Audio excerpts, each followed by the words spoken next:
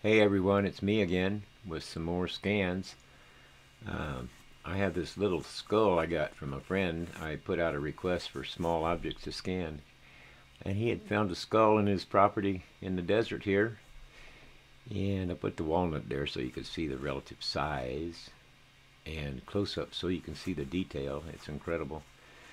But I wanted to show you my scans that I got and ask for some help. I'm not good at the 3D modeling software yet. I don't know much about anything except how to input files. And you can see this is the first scan that I did. I, I actually did five. Actually, I've probably done about 50 scans of these things, uh, trying to get the detail. But this is how it looks. Single pass scans. I mean, not single pass, but each scan in one session. So I, I did five scans, five views of the skull, and then I combined them in Handy Studio to get a completed skull. But I think somebody out there could probably do a lot better job than I did.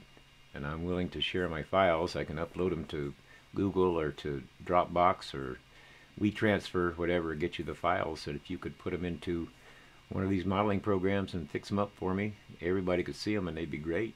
I think they'd make a really good display of a tiny animal skull.